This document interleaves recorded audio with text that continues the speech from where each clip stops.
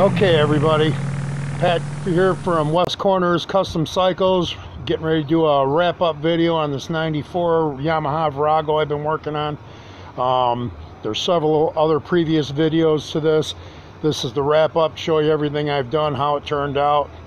And uh, so, with no further ado, let's see what how it looks. This is everything I took off the bike. Okay, everything here on this blanket came off the bike. Some of it was replaced, some of it was just completely left off. These cylindrical things here, the dirty rusty things, are the baffles that I drilled out of the exhaust. All right, well, let's look at the bike. This is the bike. That's how it turned out. Back, get a look at it. Go right from front to back, show you what I did. On the front, we got new rotors. Uh, obviously went with different rims.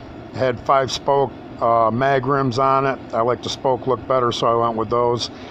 Uh, new bearings in the rim. Poured, pulled the lower fork legs, painted them black. Uh, put a tool bag on it.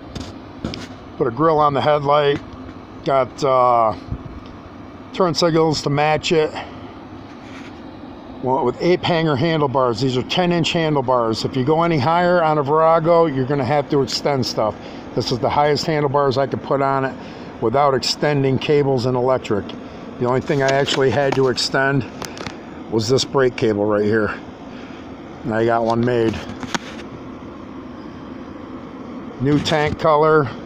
Same for the side covers and the rear fender. Was green previously. When I bought the bike, these side pods and the side covers here were missing.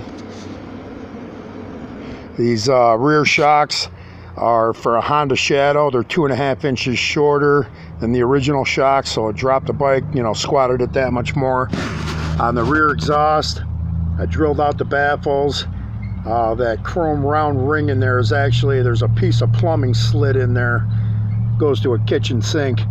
There's a video on YouTube already on how to do that. I didn't make a video on how to do it because there was a gentleman that already had a video on how to do it out there. If you want, you can look it up and learn how.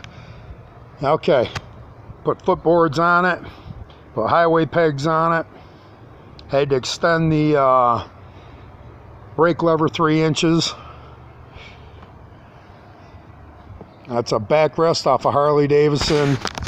Made the bracket for it this whole black bracket here. Again with the grill for the blinkers and the tail light match the front and the headlight. New backrest, new rear seat, new front seat. Top of the front seat to the road is 23 and a half inches. This thing is just slammed down. It is actually really cool and comfortable to ride. And there it is, folks. Look back and get a look at it. I like it. Yeah, leave me some comments. Let me know what you think about it. Good, bad, or ugly. Let me know if I'm doing anything good. All right. Well, it's 110 in the shade here, so I'm going to bid you adieu. As always, live life behind bars and keep the shiny side up. All right. Peace out.